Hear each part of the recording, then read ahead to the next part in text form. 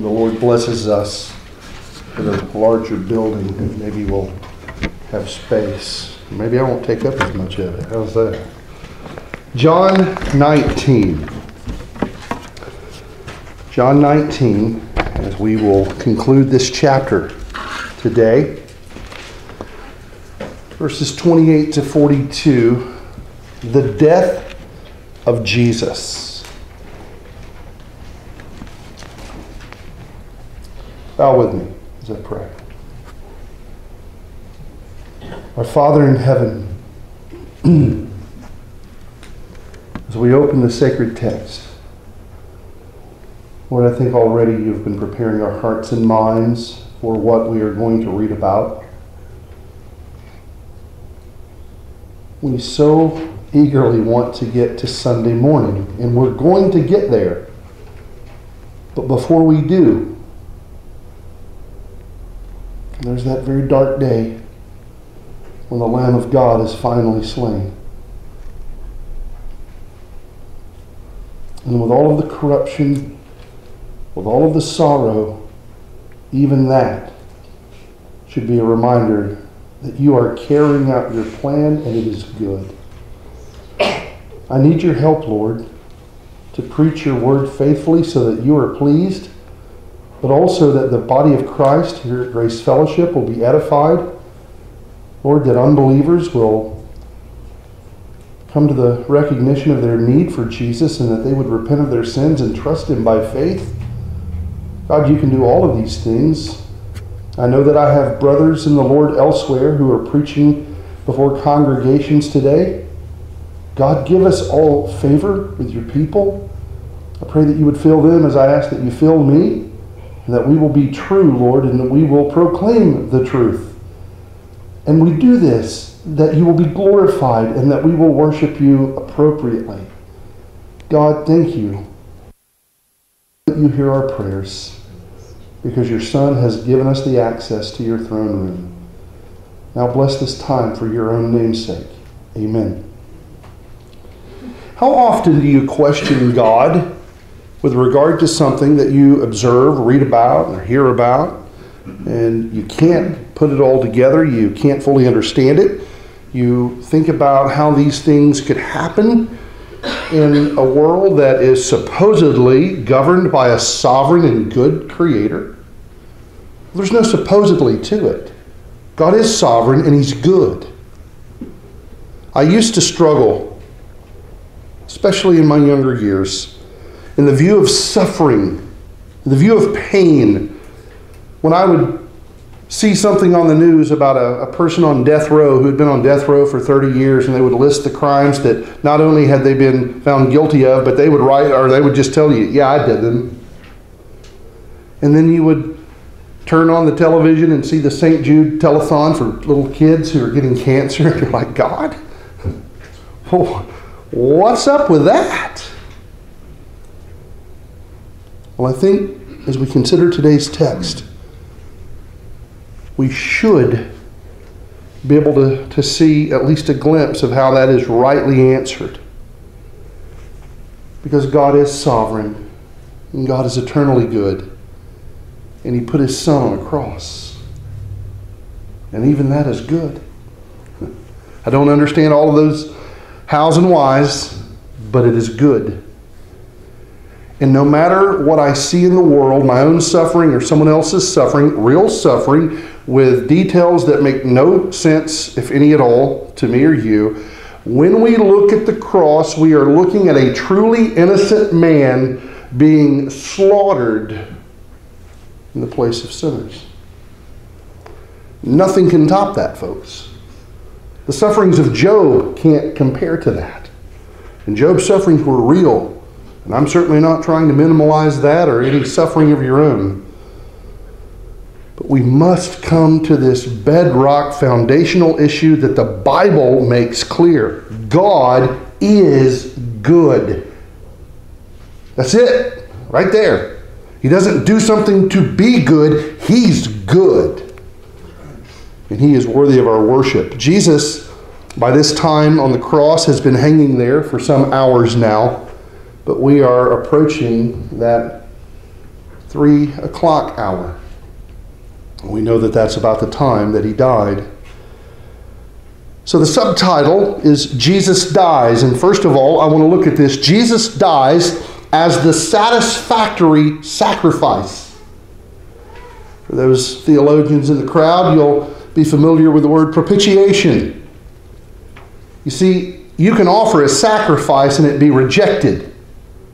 God gives very specific standards about what kind of sacrifice you are to offer. When you read the book of Malachi, you will find that the priests are offering insufficient sacrifices and God is judging them for it.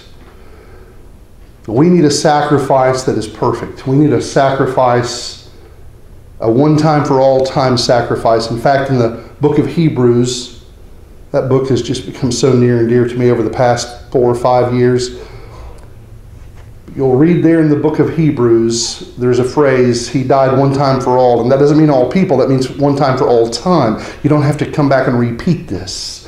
Why? Because the, satis- because the sacrifice was complete and accepted. So, so rich. So Jesus is the satisfactory sacrifice. Look at verses 28 through 30. After this, Jesus, knowing that all was now finished, said, to fulfill the scripture, I thirst. A jar full of sour wine stood there, so they put a sponge full of sour wine on a hyssop branch and held it to his mouth. By the way, he would not be that much higher than them. He's lifted up, but it's, it's not like they're way, way up high. Verse 30 When Jesus had received the sour wine, he said, It's one word in Greek, tetelestai. It is finished. It's complete. It's done. and he bowed his head and gave up his spirit. Wasn't taken from him, he gave it up. Verses 28 and 29, Jesus, knowing that all was now accomplished, now all is finished. Now, what does that mean? Because he still has to die. Some people want to make this argument that, well, that was enough. No, no. But from the cross, he is able to, to know and, and keep this in mind. He is fully God, but he also became fully man. And in his humanity, he studied the scriptures, he grew in wisdom and stature. And he is so acquainted with the scriptures that he wrote, I mean, ultimately, that he is able to look out from Calvary and to say, I didn't get here a minute too soon. I didn't forget something on a list, and I need to come down from here so I can go do that. He is able, in that moment, to know, other than his death, which is about to happen, Father, I've done it. That which you sent me to do, I have accomplished. How rich is that, folks? Are you not glad that God didn't say, Well, my son did his part, now you do yours? And that doesn't mean that we, we teach that you just, you know, say a prayer and then live as you please. No, now you're actually empowered and, and enabled to live as you should. But the point is, with regard to the sacrifice, none of us could make it. I mean, the Levitical high priest couldn't make a sufficient sacrifice. That's why they had to keep repeating them. But this one is different. The greatest high priest of the greatest priesthood, not offering the blood of bulls and goats, but the blood of himself, the spotless, unblemished Lamb of God, gives his life, and God accepts it. That sacrifice, my friend, is why you, and it's why I, and it's why any who will repent and believe have any hope at all. Had Jesus not done it, we would have absolutely no hope. Knowing this, and he says, in order to fulfill the scripture, I thirst. Looks to be that the fulfillment there is actually referring back to Psalm 69, which is largely messianic. In verse 21, written by David talking about how he would thirst. But this is where I think John is going. I think John is doing something here, and I'm, I'm always going to keep John 20, 31 in mind when John says, Here's the reason why I'm writing all of this down, so that you will know who Jesus is, so that you will believe him, and you will have life in him. Snapshots of divinity, that's how I've titled this whole study, and I know some of you say, Yeah, Derry, you've told us that a few times. Well, if your mind and memory is like that of my own, then you need reminding. What is John accomplishing in this account? It's, it's not that Matthew, Mark, and Luke are trying to accomplish just completely different things, but they all have their particular angles. And John is saying, I am trying to show you that Jesus is God. And at the same time, I am trying to show you that he is fully man. And that's going to come into play in a little bit, but I'll, I'll hold off on that.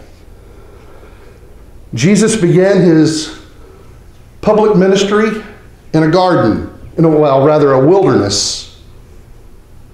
And he was hungry. And now, as he is completing it, he is thirsty. And he says it loud enough to be heard I thirst. In verse 30, sour wine was lifted up to him. Now, people get into these little arguments. Go, Darrell, do you think that's real wine or was it grape juice? It's real wine. And I had a gentleman, and I love him, and I grew up um, there in Soddy, and he said, No, if alcohol touches your tongue, it's a sin. And I went, I disagree with you biblically, and I don't even drink, so it's not like I'm trying to promote this. Uh, well, there's a guy who wrote a book. He's a Southern Baptist. Yeah, I read it. wasn't very good. So that's not a promotion of drinking. But this is wine. It's what they had. He takes it. It's lifted up to him. And then he says that, that one word, tetelestai. It is finished. And he bows his head and he gives up his spirit. The it is finished phrase is referring to the work that Jesus came to definitely accomplish, not possibly accomplish, but fully accomplish. All of his obligations had been met. There was nothing more to do. Remember back in the Sermon on the Mount, early in his public ministry, Matthew 5, he says, I have not come to abolish the law and the prophets, but to fulfill them. And that's what he is able to say, I've done it. The law that, that looks at all of you and looks at me and says, You'll never measure up. You'll never be enough. You'll never do enough. I was never given to save you. Paul says in Galatians 3 3.19, anticipating a question. Well, then, if the law can't save us, why did God give it? I'll tell you why He gave it. Two primary reasons. It will expose your sin, not your righteousness. And when you feel the weight of that sin and the utter hopelessness of your, of your condition, you will bow your head and say, Then that's it, I'm done.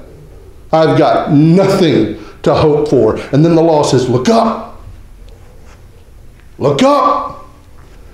The Lamb of God, He fulfilled me on your behalf. Rejoice, O ruined sinner, because the Savior has come and he didn't just show up, he had work to do, and he did it, and it is finished. Isn't that good, y'all? Doesn't that make your heart rejoice? If that makes you go, woohoo, now I can just go live any old way I please, then you missed it. You need to get saved or wake up or something. I don't but the, the truth is, when you take that in, you realize that God did that on your behalf. If that doesn't motivate you to want to walk in holiness, I don't know anything that will. Jesus is looking at his Father, but it's as if he could have an eye on his people and say, I've done this for you. I've done it for you. It's time for me to die now. And he gives up his spirit. No man took it from him, God gave it. He carried out the will of God. To my fellow believers, no, I'm not done yet. I know I always do that at the end. I've got more to go. But you and only you and I, those who have believed, we are to rejoice that Jesus died on that cross as the sufficient sacrifice in our place.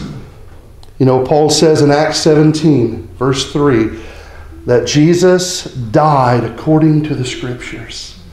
The Old Testament said that the Messiah would come, but it also said that he would die. It says more than that, right? Oh, it does. I'll let you in on a secret. We don't even have to wait next Sunday. It also says that he will live, and he does. But we got to deal with this. Fellow brothers and sisters, let us rejoice in God who rescued us. And let us, let us offer our worship to Him with that as our heartbeat. We're not coming in here in this building or any other building with any other congregation and singing, Oh God, I, I'm so glad you're accepting my works and, and the things I've done. No! Oh God, I'm but a sinner.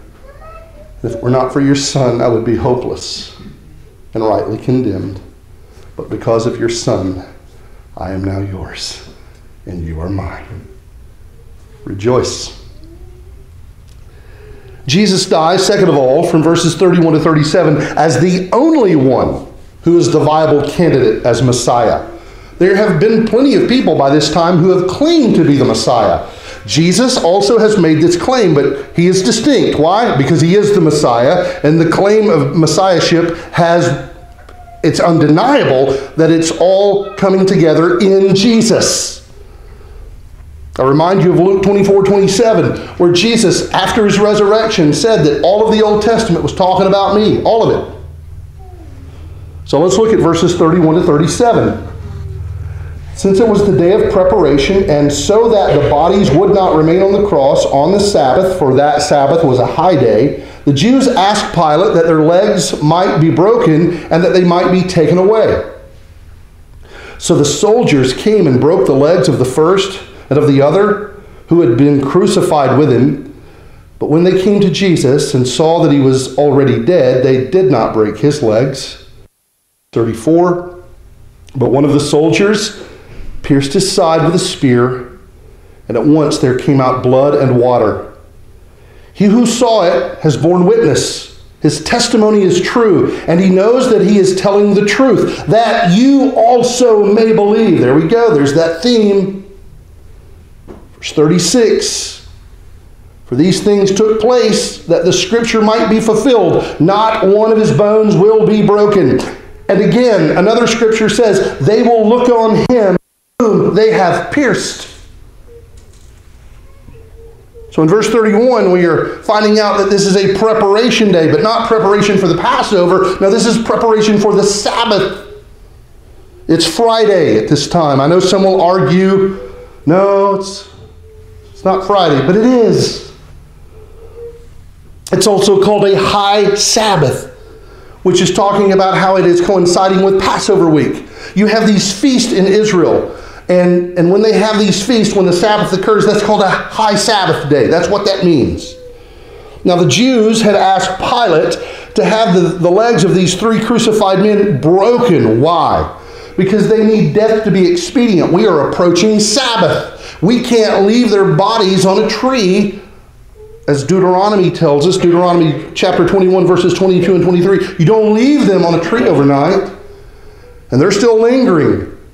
And remember, the way you die uh, via crucifixion is that you suffocate and, and you're able to, to hold up your body weight until finally you have no more strength and then, and then it doesn't take long from there. Well, the Romans would come and they would use an iron mallet. It's a horrible description.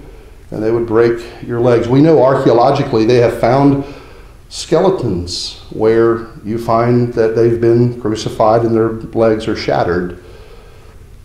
And so they do that. You've got the man on his left, the man on his right.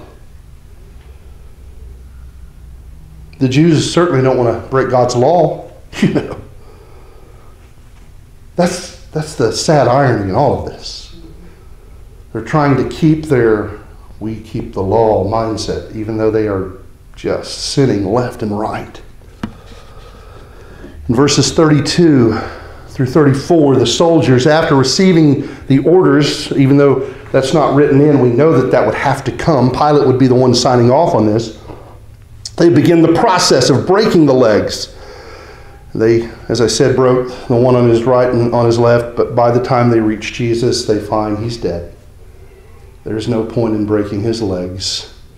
And that's just circumstance, right? Just so happened to be that way. Or is there something more? Yeah, there's something more. One of the soldiers pierces Jesus' side with a spear, and blood and water comes out. Now, I want to touch on this. Uh, when I do my sermon research, I have to do a lot of reading, and sometimes, sometimes, sometimes, that's you know like, oh, this is this is something. But but some have made more of this than I think they should, and certainly more than what you find in the text. One of the commentators that I consistently go to is Dr. D.A. Carson. He is so reputable, such a good scholar, and he's, he's a scholar of, of so much. I mean, he knows Jewish history, church history. I mean, he may have known Moses personally, I don't know, but he's just a rich theologian.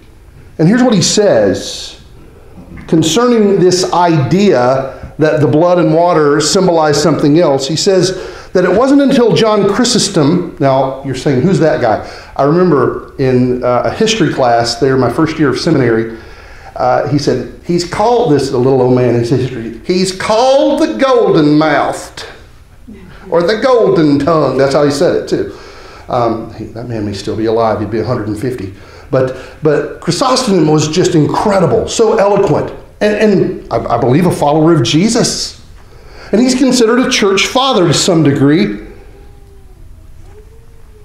But not until the fourth century does he come up with this. Polycarp doesn't come up with this. None of these other guys come up with this. And here's what he did he suggested that the water represents baptism and the blood represents the Lord's table or communion. And he suggested it, and people run with it. Well, hey, one of the church fathers came up with this, but not all. And he only suggested it.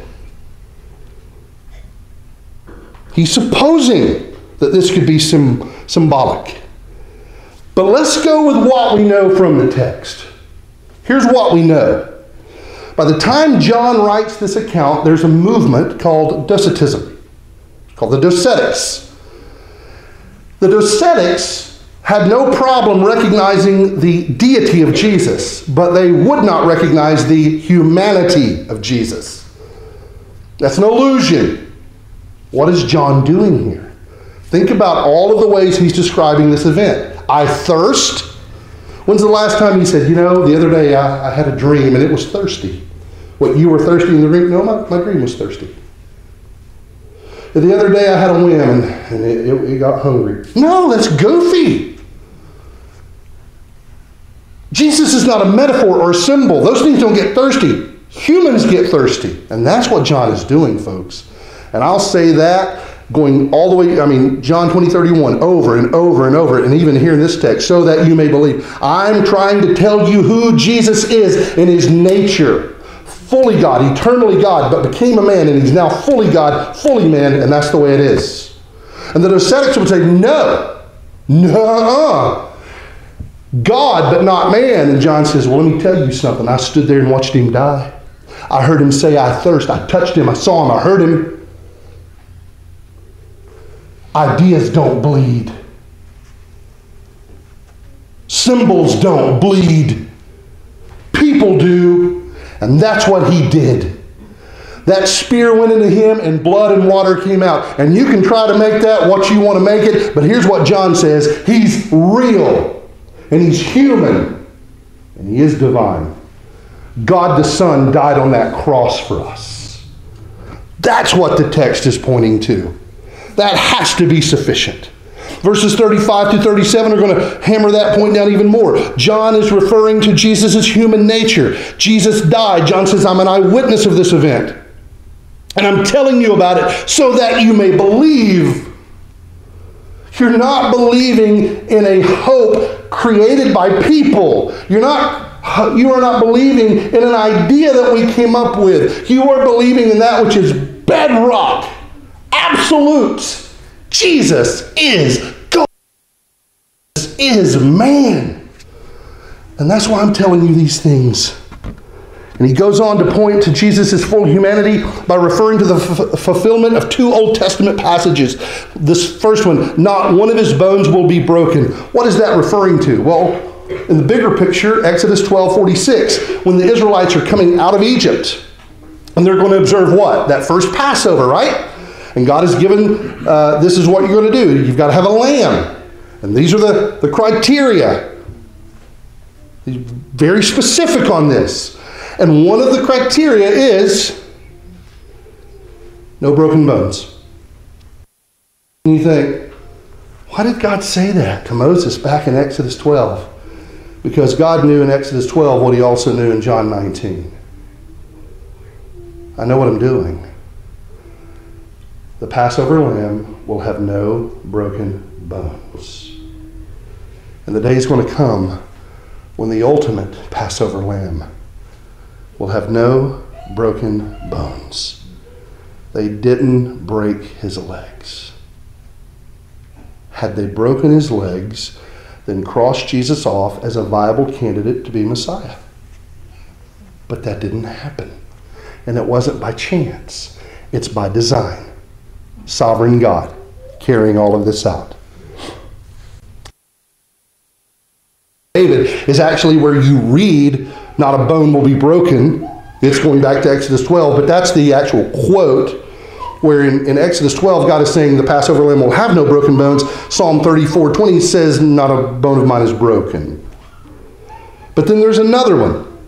Zechariah 12 10, speaking of Messiah, here's what he wrote They will look on him, Messiah, whom they have pierced.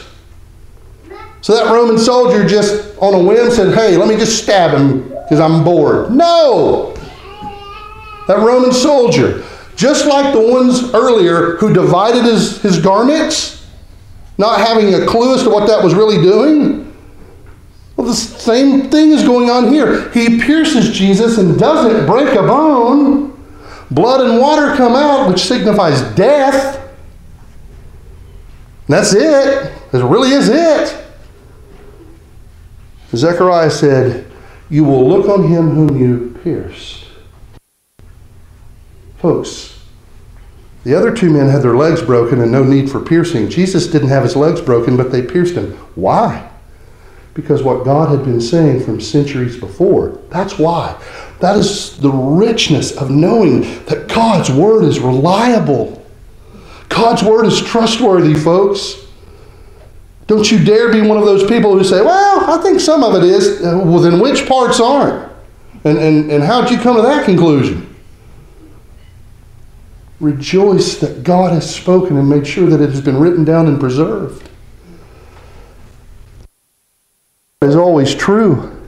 And put your confidence in Him and commune with Him in His Word often. Third and finally, Jesus dies to be buried verses 38 to 42. And before you say, well, duh, here's what usually happened with crucified people. And I'm, I'm really not trying to make anyone sick, and I know there are little ones in the room, but I want to say this anyway. This is what usually happened. Crucifixion was so shameful that most often family members wouldn't come because of the disgrace. And the bodies were left there by the Romans. And you can imagine what animals do. They're not buried, folks. They would finally take down the remaining carcass and simply throw it over the side. No burial. But why is it different for Jesus? Well, circumstances just turned out well. No, no, no. He died to be buried. You do not bury symbols. You do not bury metaphors. You do not bury ideas, though figuratively you can, but literally you can't. You literally bury people. Hopefully, they are deceased when you bury them. If not, we will turn you into the authorities. But you bury the deceased. In verse 38, look at this. After these things, Joseph of Arimathea, who was a disciple of Jesus, but secretly, for fear of the Jews, asked Pilate that he might take away the body of Jesus, and Pilate gave him permission. So he came and took away his body. Nicodemus also, who earlier had come to Jesus by night, came bringing a mixture of myrrh and aloes, about 75 pounds in weight. So they took the body of Jesus and bound it in linen cloths with the spices, as is the burial custom of the Jews. Now, in the place where he was crucified, there was a garden, and in the garden, a new tomb in which no one had yet been laid. So, because of the Jewish day of preparation, since the tomb was close at hand, they laid Jesus there. So in verse 38, we read about this man named Joseph of Arimathea. He is mentioned in all four gospel accounts Matthew 27, Mark 15, Luke 23, and here in John 19. But in Mark 15 and Luke 23, we find that he is a prominent member of the council or the Sanhedrin. But apparently, he had no part in the trials of Jesus. Up to this point, Joseph has been a secret disciple of Jesus. But what this did took the secrecy away. Because this is going to be a very public thing. In order to have the body removed, you know that you've had to seek Pilate's permission. So when Joseph of Arimathea comes along to do that, the Jews who are still going to be near are going to be like, What are you doing? And now Joseph is going to have to say, I'm getting my Lord off of this cross. Secrecy is no more. You do with me whatever you will, but I'm his. I'm his follower. In Matthew 27 57, we find that Joseph was a rich man. And that corresponds to Isaiah 53, verse 9, wherein Isaiah writes this about the Messiah. And they made his grave with the wicked. Who did he get crucified beside or in the middle of? Two wicked men. One came to know the Lord and with a rich man in his death, although he had done no violence and there was no deceit in his mouth. Even this is fulfillment of what was said in the Old Testament. None of this is happenstance. In Matthew 27 60, we find that the tomb that Jesus was placed in belonged to Joseph of Arimathea. The tomb was nearby, and they needed to bury him rather quickly due to the coming Sabbath. I'm going to come back to Pilate for a moment, the Roman governor who had handed Jesus over to be crucified. And this is very significant because there is no way that Pilate would have allowed Jesus' body to be removed from that cross if he were still alive. That did not happen, folks. You didn't bring him down and death. Pilate would not sign off any other way. When they are able to report to Pilate, and it would have been the Romans doing so, he's dead. The one on the middle, on the middle cross, he's dead. No, it's no doubt about it. He's dead. Here's, here's how we know. Mean, he, he wasn't breathing. We didn't have to break his legs. We pierced his side. Blood and water came out. He's, oh, then he, yeah, he's dead. So Pilate says, okay, you may have his body.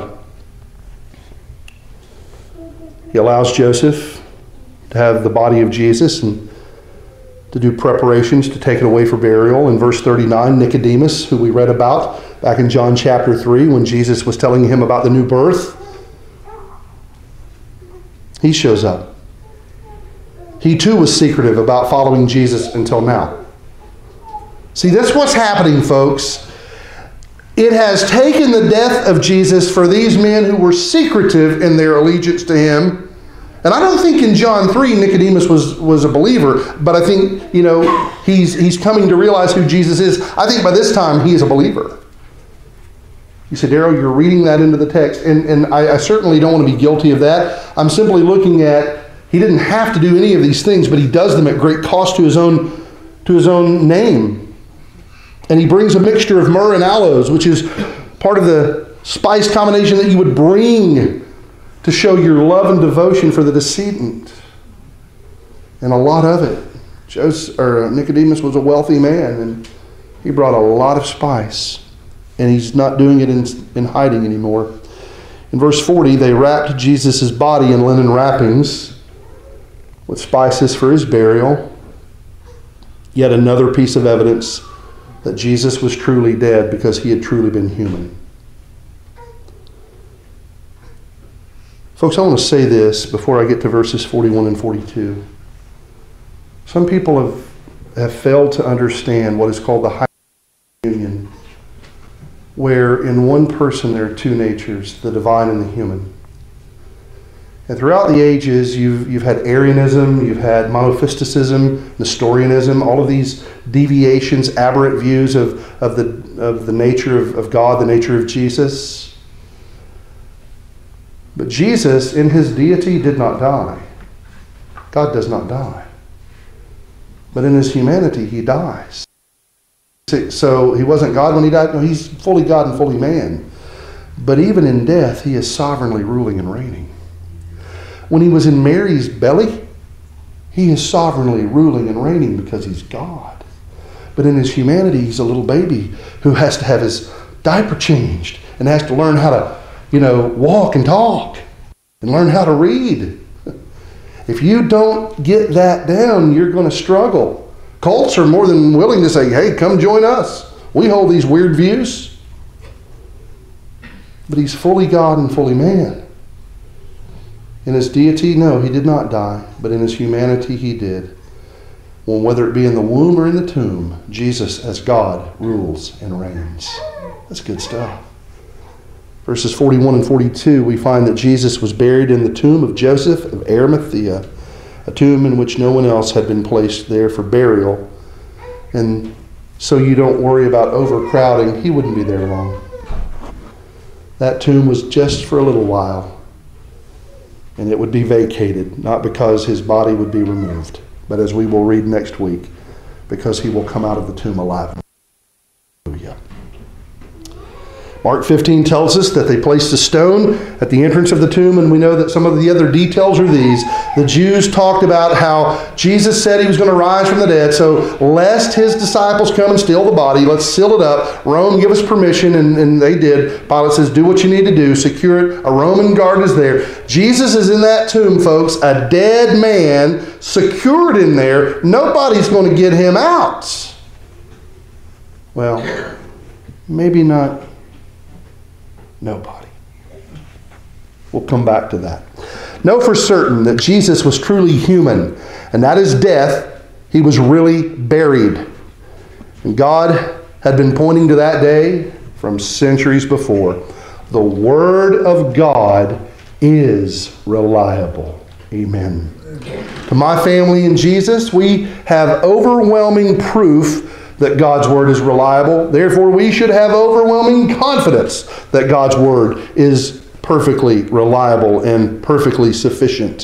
The people living in what we know of as Old Testament times trusted that God would keep his word concerning sending the Messiah. Well, certain ones who were alive when Messiah showed up, they witnessed his life, they witnessed his death and his burial, and they wrote those details down for their generation and the generations to follow so that we could read about this, so that we would become convinced. That we would become convinced that Jesus is God. And He is the only one who can save sinners. Luke said early in his account, not in Acts, but in the Gospel of Luke, I've written these things down in most consecutive order so that you will have confidence that what you have believed is believable. I'm paraphrasing that. But he's saying, I want you to have confidence that the things you have read in the scriptures are true. We don't hope that they're true, we can know that they are true, even when we don't fully understand them. Just because Darrell reads a passage and he goes, Oh, I don't get this, and that didn't make sense to me. I mean, I'm not trying to be a jerk, but there's been times when I've been like that, and there's still times where I'm like, I don't know what's going on here. But here's what I can step away and, and say it's true whether I get it or not. It's true, always has been, always will be. And if that isn't enough, I don't know what is. Are we allowed to have questions? Of course we are. But if we if we think that we have to be able to figure out everything, then, then we're, we're going to be a mess. We're going to be a mess. We have to simply come to this trust that God wrote it down so that we could know who He is, that we would believe Him. Jesus of Nazareth is eternally God who became a man while remaining fully God, and He truly died. They buried a dead man, but thankfully Sunday morning is coming, and we'll read about that, Lord willing, next Sunday. I would encourage you to read about it today and tomorrow and Tuesday and Wednesday and Thursday and Friday and Saturday and the days following. Keep coming back to John 20 a whole lot. Keep going to Matthew 28 a whole lot. Keep going to 1 Corinthians 15 a whole lot. Why? Because a tomb was vacated by the Son of God who stepped out of it alive and well, never more to die. Unbeliever, you might be sitting there saying, These people are nuts. This is mythology. This is some fanciful story of some person's own creation. I wonder who influenced you on thinking that way. And before you say, well, Darrell, you only believe what you believe because you grew up in a home where that was taught. Oh, no. No, I've been very open about a time in my life when I had what I would call somewhat of a crisis of faith, where I, it wasn't that I didn't believe that there was a God, but I was really wondering, why do I believe what I say I believe? So I began to search and I began to study. And the more I studied, the more I found, and these things are absolutely true. Not because I want them to be, I do, but that's not why I believe them to be true. I'm convinced that they are true. So, unbeliever, someone has influenced you. I simply tell you and charge you to listen to the God who has made himself known take up his revelation, the specific revelation known as the Bible, because it will tell you that God in Genesis 3:15 made a promise to send us to send a Messiah because sin had just entered into the world and it shattered all of us. And we needed a sin bearer.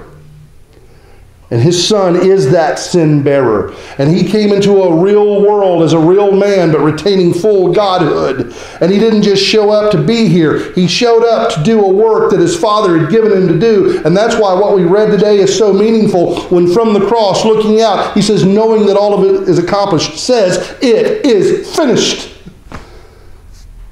And you need him. There's not a thing that Darrell Winters can do for you. Darrell, will you speak for me?